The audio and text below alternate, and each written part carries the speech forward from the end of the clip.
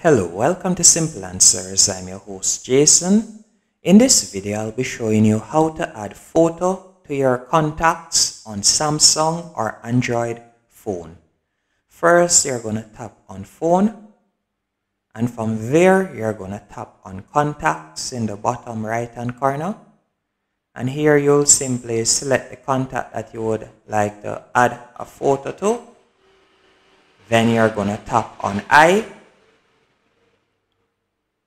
Next, you're going to tap right above the contact name. And as you can see here, take a new profile picture or add one from your gallery. I'm going to tap on gallery. And from here, I'll select the photo that I would like to use. For instance, this one right here.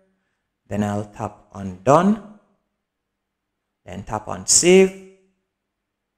And that's it. That's how to add or how to set a photo to your contacts on Samsung or Android phone. Hope you found this video helpful and informative. If you did, be sure to hit the like button and subscribe and thank you for watching.